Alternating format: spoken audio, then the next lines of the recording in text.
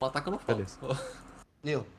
Kizuna, pera aí Vai, Ia rapidinho. double kill, ia double kill, ia double kill. Não, Kizuna, Kizuna. Bora Tá. corridinha de GTA?